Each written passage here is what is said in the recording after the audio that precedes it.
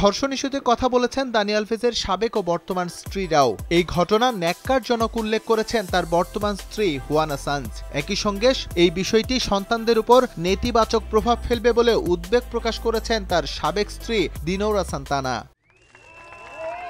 এদিকে সাবেক ক্লাব সতীর্থর পক্ষে কথা বলতে গিয়ে মারাত্মক সমালোচনার মুখে পড়েছেন জাবি হার্নান্দেজ। গণমাধ্যমে তার মন্তব্য ভুক্তভোগীকে হেয় প্রতিপন্ন করেছে বলে অভিযোগ উঠেছে। যার প্রেক্ষিতে ভুল স্বীকার করে আবারও নতুন করে স্টেটমেন্ট দিয়েছেন Barcelona coach El Dani Alves crec que es va malinterpretar una mica. আমার মন্তব্যের জন্য ক্ষমা চাচ্ছি। আমি আসলে বিগ ছোট করতে চাইনি। আমরা কথায় বিচার কার্যে প্রভাব পড়ুক সেটা অবশ্যই চাই না। যে দোষ করেছে তার অবশ্যই শাস্তি হওয়া উচিত। এটা দানি আলভেস হোক কিংবা অন্য কেউ.